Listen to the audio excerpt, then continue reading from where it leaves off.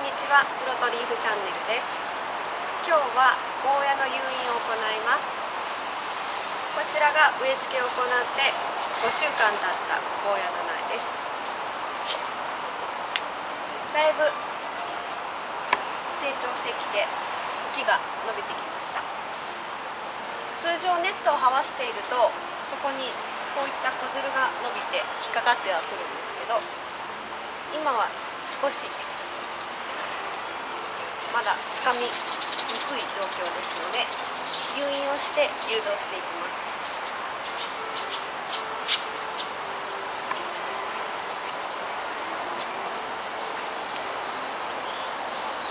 まずは軸の方にしっかりと結びつけてゴーヤの苗を植え付けます結びつけます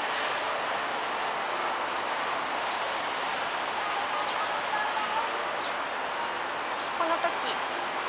少し横の方向に伸ばしていくとこういったところの脇芽から今度は上に広がるような形で成長していきますのでグリーンカーテンのような密集した状態にはなりやすくなります。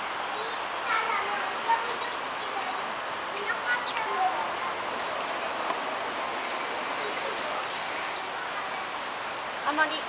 誘引する時にはきつく引っ張ったりしないように結びつけるところも緩く茎が大きくなっても食い込まないような形で誘導していってください。